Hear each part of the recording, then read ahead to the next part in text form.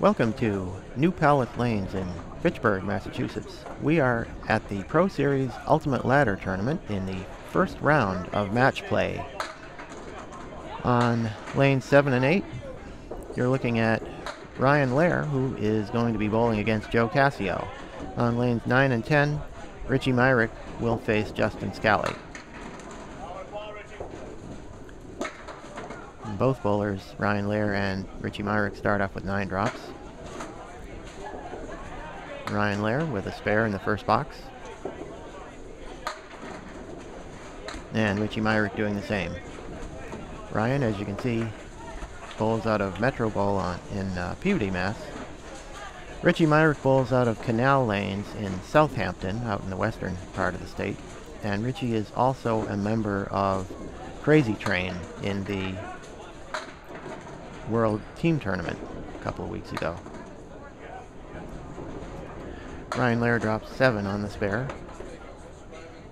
He's looking at the 1, 3, and 5. Richie Myrick with a 5 drop. He punches through the middle, leaving the 2, 3, 4, 6, 7. Big 5 lead.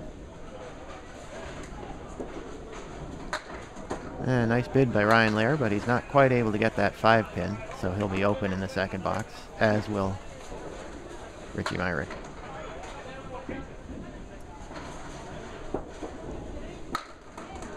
And Richie Myrick with a 10, giving him 25 after 2, and Ryan Lehr with a 9, he's got 26.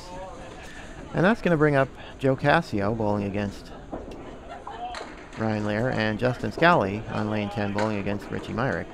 Justin starts off with a 7 drop, leaving the 2-4-7 with some wood out in front of the uh, two pin.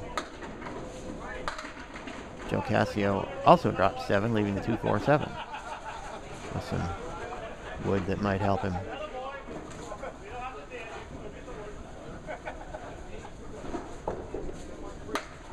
Piece of wood that needs to be removed, and I think that's Sean McKinley taking care of the wood.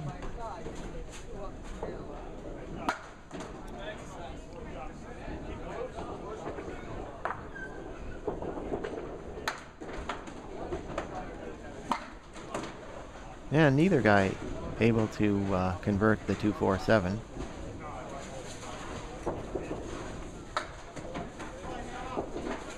Justin will take a 10 and Joe Cascio will take an 8. Joe moves over to lane 7 and Justin goes to lane 9.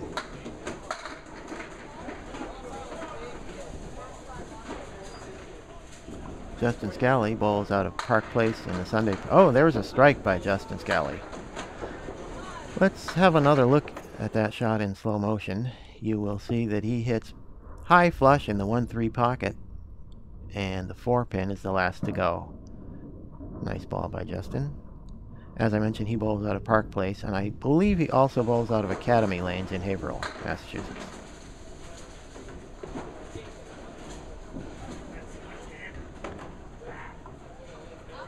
Richie Myrick back up on lane 10, bowling against Justin Scali. He drops 6 and leaves a 4, 7, 9, 10 with some wood that might be useful.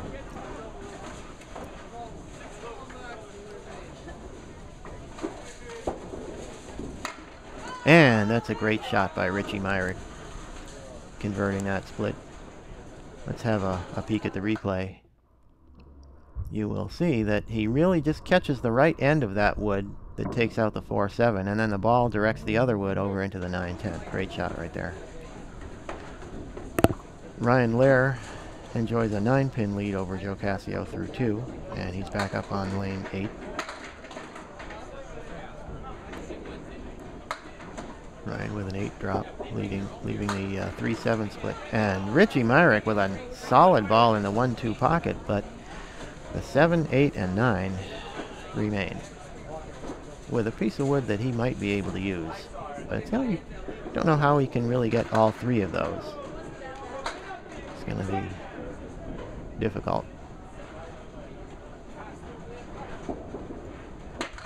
And it's a nice try. He got the wood to come off the wall and take out the 8-9, but nothing touched the 7. So he'll be open. And Ryan Lehr is also open in the third, leaving, uh, giving him 36 through 3.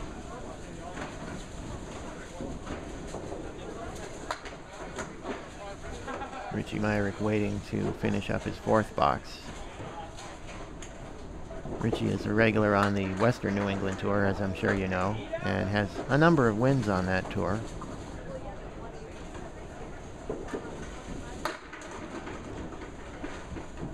Uh, Richie Myrick has 51 through 4. As Justin Scali comes back on lane 10, working on the strike that he put up on the board in the second frame. He drops 7 as Ryan Lehr makes a spare in the uh, in the fourth.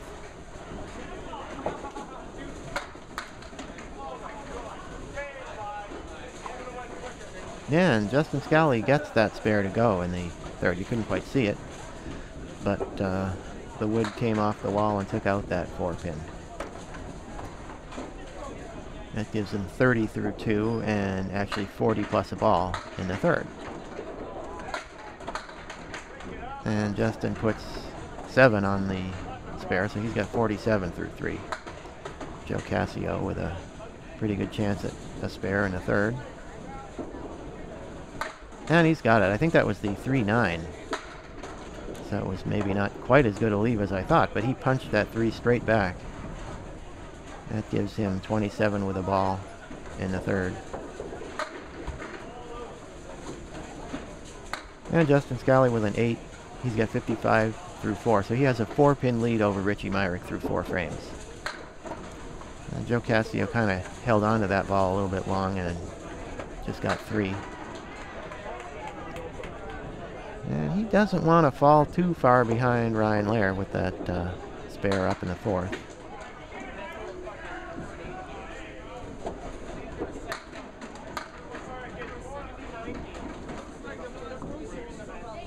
Richie Myrick on lane 10 has the 1, 2, 10.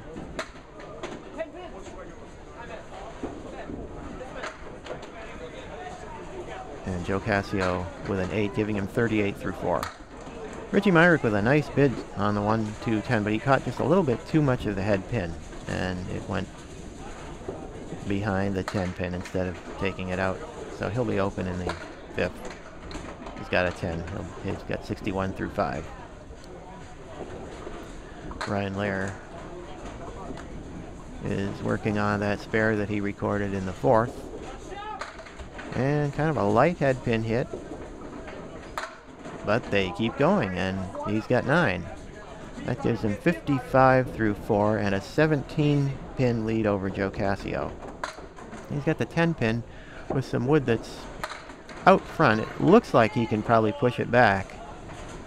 But it's a little, there's at least two pieces of wood there, so it could be, uh, could be kind of tricky. Let's see what happens. And he manages to push it back into the 10 pin, so he's got a spare in the fifth. Richie Myrick will be open once again in the sixth. He'll have either 70 or 71, depending on... And he makes that 10 pin, so Richie has 71 through 6 Justin Scali bowling against him with 55 through 4. Justin with a chance to uh, do some damage here as Richie had a couple of open boxes. And Justin with a 7 drop, leaving a 3-6-7 split. Meanwhile, Ryan Lehr with a strike on lane 7. Solid 1-3 pocket hit. And Justin with a nice spare on lane 10. Let's have a look at the replay and see how this goes. He hits the left side of the 3, and I think there's a piece of wood frozen behind it, which sort of gives it a little bit more mass and allows it to uh, deflect the ball over to get the 7. So that's a spare for Justin Scali in the 5th, giving him 65 plus the fill. Then he drops 8, so he's got 73 and a 12 pin lead over Richie Myrick. He's got the 710 with three or four pieces of wood there. He might be able to do something with that. And he does. Justin Scali converts the 710 for a spare in the sixth. That gives him 83 plus his fill ball when he gets back up there against Richie Myrick, who has 71 through 6.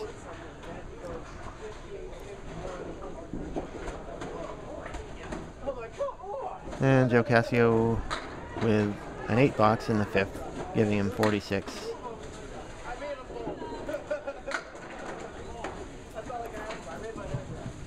So Ryan Lehr has 75, which means that Joe Cascio is down by 29 here. So he's really got to get something together pretty quickly in order to get back in the match. These one-string matches don't give you a lot of time to uh, recover if you if you get behind. You really have to just come out of the blocks fast and, and keep your foot on the gas. Richie Myrick with a 10 box in the seventh. And Joe Cascio threw a nice ball on the head pin, but left a split and wasn't able to convert it. He ends up with a 6, giving him 52 through the 6th. So Ryan Lehr with an opportunity to extend his lead here because he's got a strike to fill in the 6th. Richie Myrick on lane 9 with a 7 drop, leaving the 3-5-6 triangle. You might remember that Richie threw a four-bagger in the uh, at the start of a, a, a, Western New England Tour final match against Charlie Jutras a year or two ago. And Richie has a good record out there. Then he makes the spare in the eighth, giving him 91 plus the fill when he gets back up there. But of course, Justin Scali is also working on a spare, and Justin drops 9. So Justin Scali has 92 through 6, and he leads by 21 pins. He has the 10 pin with a, a piece of wood out there. See if he can push it back. Kind of similar to the one that uh, Ryan Lehr had a few boxes ago. And he's able to uh, to make that spare. So Justin has 102 plus the fill in the seventh as he begins the eighth box on lane nine. Justin with a nice ball on the head pin, but a little, gets a little too much of it. Punches out four for the spread eagle. Gives him 106 through seven. That gives him a 25 pin lead.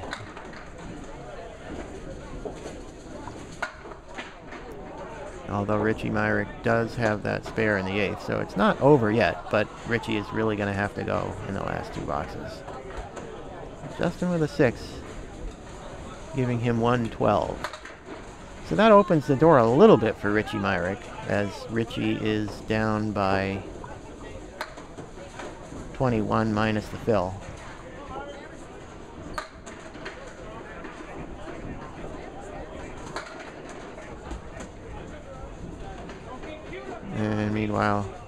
Ryan Lehr has 111 through the 8th. And Richie only puts 4 on that spare. So that cuts it down to a 17 pin lead. And that means that he, he's got to have two marks in the last two. And of course he's got a tough leave here. And he doesn't make it. Leaving the 1-8. So probably he's got to throw a double in the 10th to have a now to force Justin Scali to mark. If he doesn't, then Justin just needs to fill out the two, the last two boxes with something reasonable.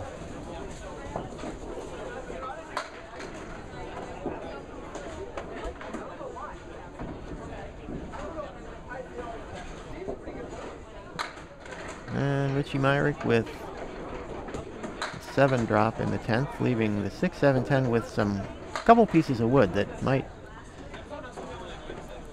he might be able to use. And he does. He converts that spare in the 10th.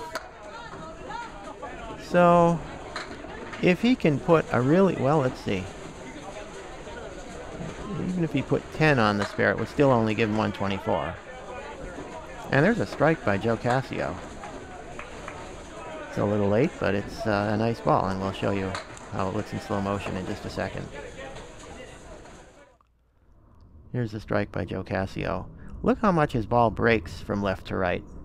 And it he has kind of a medium, sort of a mixer wall shot in the uh, in the eighth box, but that gets 10 pins down pretty quickly in the eighth. Justin Scali. Richie Myrick finished with a 117 game, so Justin Scali is going to move on to the next round in his ladder. He's going to face Sean Baker next. And Ryan Lehr, it's pretty clear, is going to move on in his next match, and I believe his next opponent is Chris Sacchetti. We'll have coverage of those matches coming up a little bit later in the week.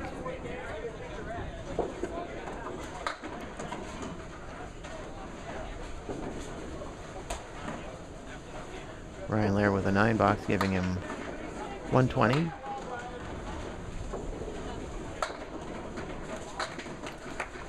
And Justin Scali finishing up on lane 9. He finishes with an 8 box. That gives him a 135 to 117 win over Richie Myrick. So Justin moves on to face Sean Baker. And meanwhile, Ryan Lehr, he drops 7 in the 10th. He has 120 through the 9th.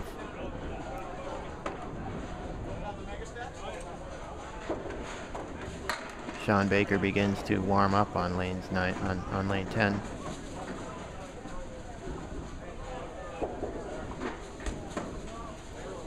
To face Justin Scali.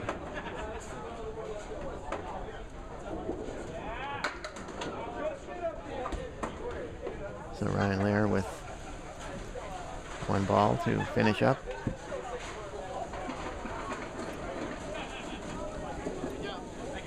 And Ryan will take, it's going to be a 9. So that gives Ryan a 129 game. And Joe Cascio with 71 with a strike up in the uh, in the 8th. So he's, um, well, not mathematically eliminated, but he'd really have to have a massive finish in order to come back here.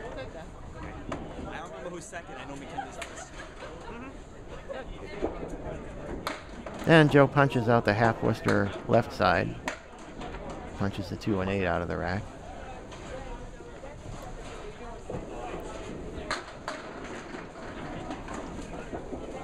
I might mention, and there's a nice shot by Joe Cascio. He converts the half Worcester for a spare. I might mention that uh, the cut in this tournament, uh, we had a three round, a, three string qualifying round, and the cut was very high. It was 392. So everybody who made it to match play obviously bowled pretty well in the uh, the qualifying round. And Joe Cascio fills his spare with seven. That gives him 99 through the ninth, and he will just fill out the last frame.